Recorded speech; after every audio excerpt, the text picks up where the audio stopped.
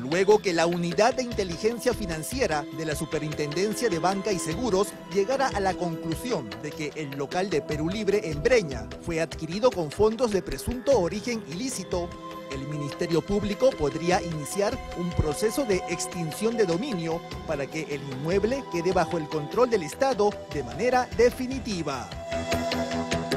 Se trata de un proceso que se puede realizar de manera paralela a la investigación penal por lavado de activos contra Vladimir Cerrón y otros dirigentes del Partido del Lápiz. La regla es que si una persona natural o jurídica posee o es propietaria de un bien mueble o inmueble y no puede acreditar lícitamente el origen, no puede, eh, digamos, probar la licitud de los fondos con los cuales lo ha adquirido,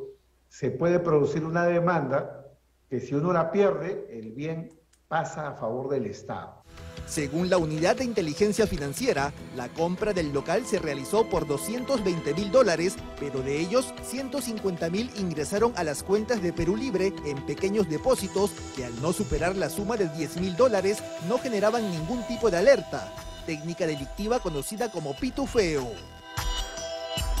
Sin embargo, el abogado penalista Carlos Caro indicó que solo con el proceso penal se puede asegurar la incautación del bien sin necesidad de una demanda de extinción de dominio. Primero que se agote la parte penal, porque además en la parte penal se puede dictar todos los apremios, ¿no? Congelamiento del bien, la incautación incluso en favor del Estado, de modo que ya los señores Perú Libre no tengan la posesión del bien, sino lo tenga el PRONAVI. Es un híbrido porque no es un proceso contra individuos,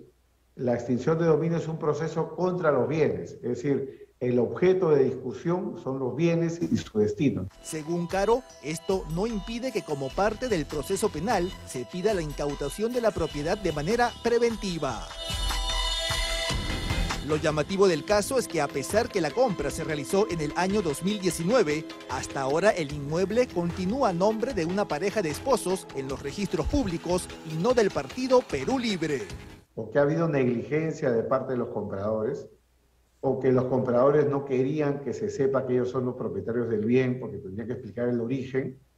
o porque en verdad el precio es un precio castigado y el precio que está en el papel es un precio que no está completo y hay una parte que por fuera se tiene que pagar. Por último, el Poder Judicial aceptó el pedido de la Procuraduría para convertirse en actor civil o parte agraviada del Estado en el caso de los dinámicos del centro. Es decir, podrá ser parte de la investigación contra Vladimir Cerrón y otros dirigentes de Perú Libre.